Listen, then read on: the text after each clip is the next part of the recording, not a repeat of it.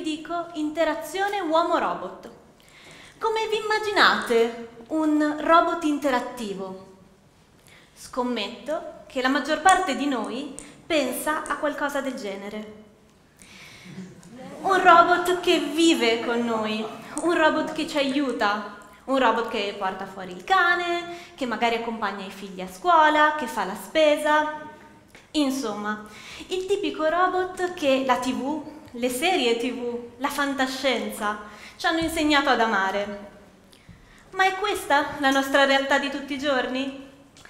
Direi di no, purtroppo. Infatti, se andiamo a pensare qual è la cosa più vicina a un robot che troviamo nelle nostre case oggi, è questa. Eh sì, è un robot da cucina. Non lo definirei proprio robot.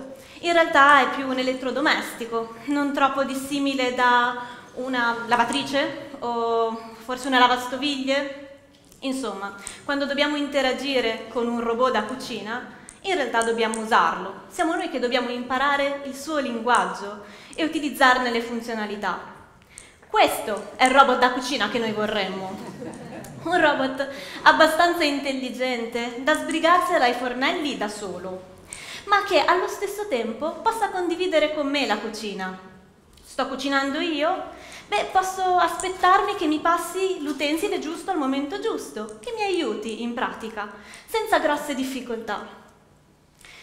Bene, com'è messa l'industria robotica nel darci quello che desideriamo in termini di robot?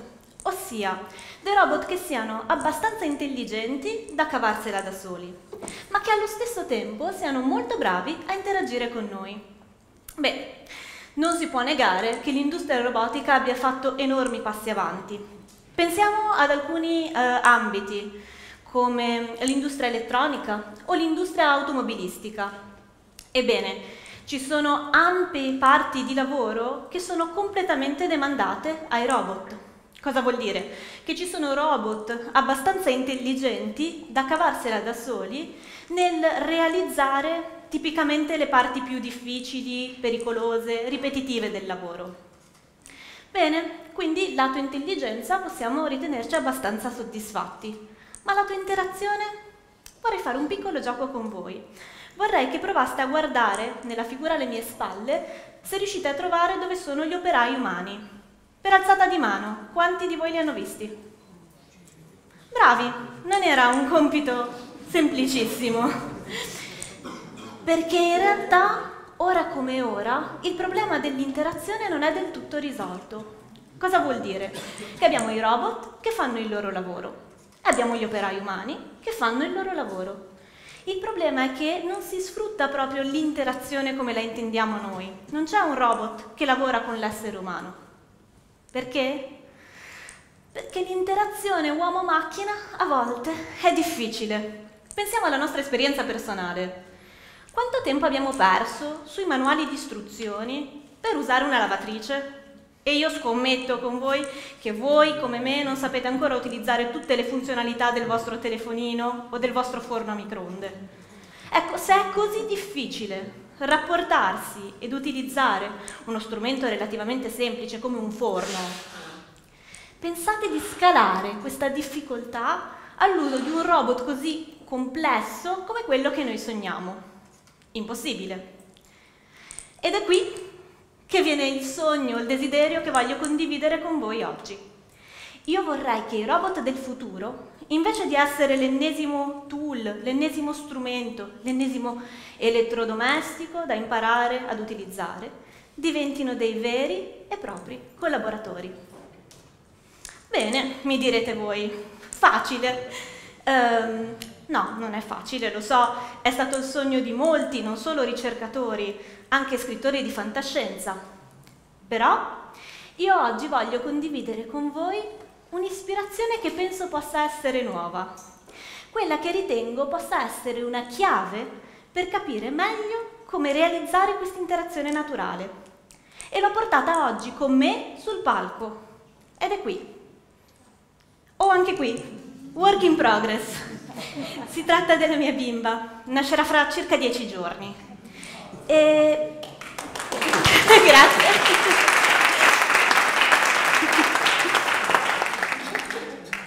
Al di là dell'amore di mamma, come pensa una cosa del genere, un bambino così piccolo, essere la chiave per risolvere questo problema annoso?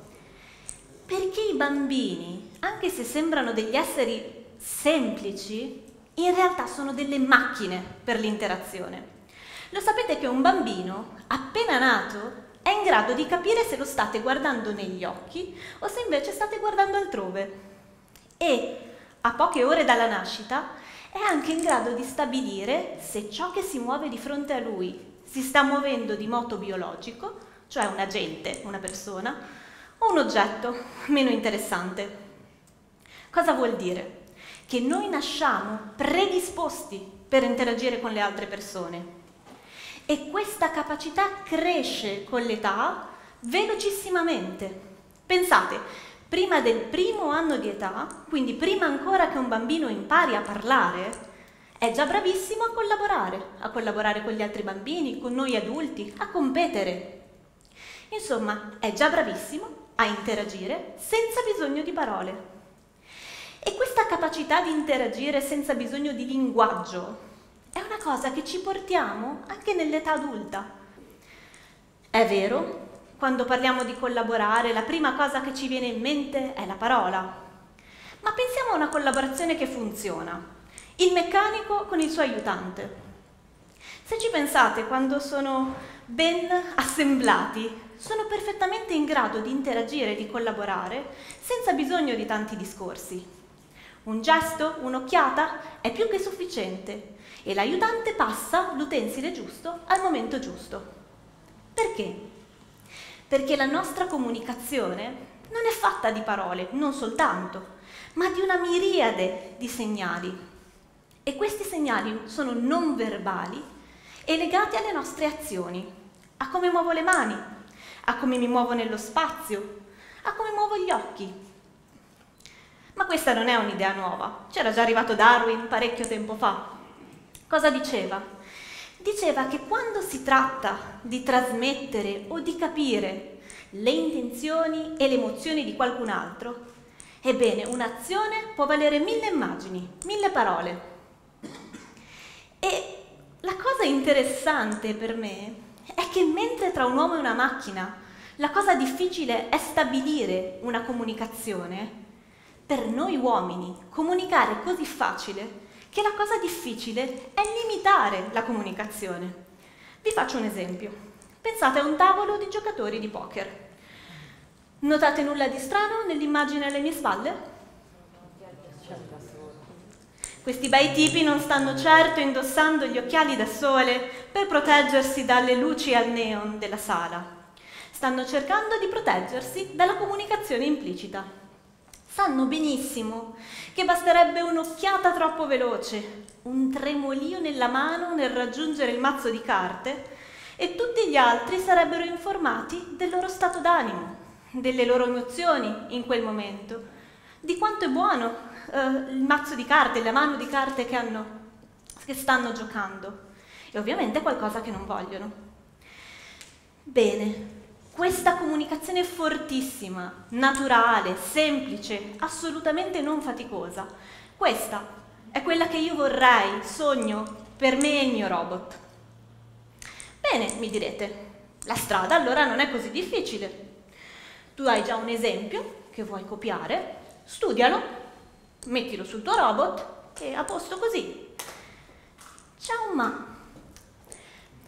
Per studiare qualsiasi fenomeno, fisico, sociale, è molto importante poterlo controllare.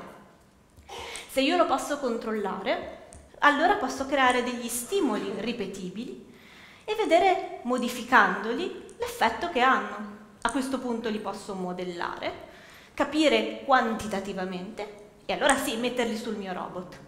Ma, come vi dicevo, noi uomini non siamo bravi a controllare la comunicazione implicita. Pensateci. Anche gli attori o i politici, cioè persone che sanno benissimo quanto sia importante controllare la comunicazione, talvolta non ce la fanno e sentono una spinta insostenibile a comunicare qualcosa che forse non avrebbero dovuto comunicare Quindi noi non abbiamo il controllo completo su questi meccanismi, perché sono inconsci in grande parte. Come fare allora a studiarli? Ecco qui la mia proposta. Utilizziamo i robot. Perché? Perché il robot, prima ancora di diventare il compagno, o meglio dire il collaboratore che tutti noi sogniamo, può esserci già molto utile come strumento di indagine. Perché il robot può interagire con noi. Possiamo giocare insieme sul touchscreen, ad esempio. Ma è un robot. Possiamo controllare esattamente, in maniera ripetibile, come si muove, come muove le mani, come muove gli occhi. E a quel punto possiamo effettivamente misurare qual è l'impatto di questi comportamenti sulla persona che gioca con lui.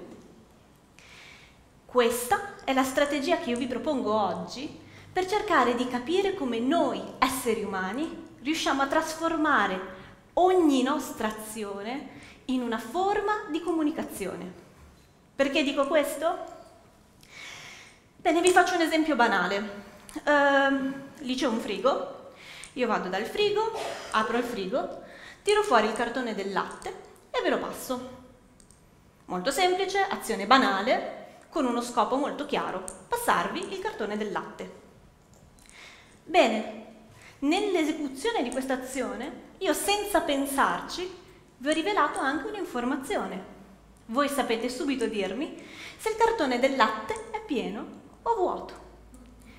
È una cosa semplicissima, però attraverso questa azione io vi ho anche comunicato qualcosa che altrimenti per voi sarebbe stato del tutto invisibile. Ed è questo passaggio segreto di informazioni, secondo me, quello che rende la nostra collaborazione con altre persone così immediata, semplice. Per cui quello che sto cercando di fare è di vedere se riusciamo a rendere anche i robot dei veri e propri comunicatori con le loro azioni. E quindi, ad esempio, abbiamo cercato di rendere questo robot umanoide in grado non solo di svolgere azioni utili, come prendere una pallina, cioè prendere degli oggetti, oppure passarci degli oggetti, ma allo stesso tempo abbiamo studiato dove nella sua azione si nascondeva l'informazione. E adesso, quando il robot ci passa un oggetto, noi capiamo magicamente anche che peso ha e quindi siamo pronti a riceverlo. Bene, ma questa è solo una faccia della medaglia. Perché? Perché la comunicazione di per sé è bidirezionale. Non ci basta comunicare quando noi ci muoviamo. Noi vogliamo che il robot capisca anche noi che ci muoviamo. Deve essere anche un lettore. Allora abbiamo cercato di modellare anche questa capacità, la capacità di leggere le nostre azioni. E abbiamo deciso di partire dagli occhi. Perché gli occhi Beh, si dice spesso, gli occhi sono lo specchio dell'anima, la porta dell'anima. Ed è effettivamente vero. Io muovo gli occhi per guardarmi intorno, ma se voi guardate dove sto guardando, capite subito dove è rivolta la mia attenzione. Ecco, dotando il robot di questa capacità, l'abbiamo reso un collaboratore. Vi faccio vedere un piccolo esempio. In questo piccolo video ci siamo io, e il robot che stiamo cercando di aiutare un nostro amico a montare una pila di cubetti. Come vedete, in ogni istante siamo in grado di capire, sia io sia il robot, eh, se è il mio turno o il suo e quale dei due cubetti che abbiamo in mano dobbiamo passare al nostro amico. Bene, in questo caso siamo stati dei buoni collaboratori. Vi rivelo però un piccolo dietro le quinte. In questo video il robot non capiva un H di inglese, zero, e non guardava nemmeno le mani del nostro amico. Niente, lui monitorava soltanto i movimenti dei suoi occhi.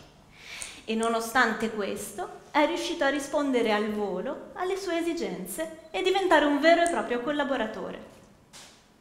Bene, mi rendo conto, questi sono solo piccoli passi, però secondo me sono piccoli passi nella giusta direzione, nel tentativo di rendere l'interazione con i robot naturale. Un po' quel tipo di interazione che il cinema ci ha da sempre fatto sognare. Però il cinema ci ha sempre fregato, ha usato scorciatoie. Cosa ha fatto? Ha preso gusci robotici e ci ha infilato dentro persone umane. 30 anni fa come due anni fa. Ecco, io vi propongo di fare esattamente l'opposto, ossia di prendere un robot e metterlo nell'interazione. Perché solo così possiamo studiare in maniera quantitativa come avviene questa eh, incredibile e naturale collaborazione.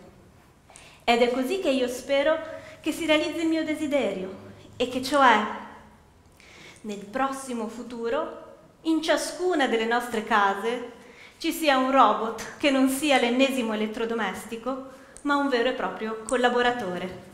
Vi ringrazio.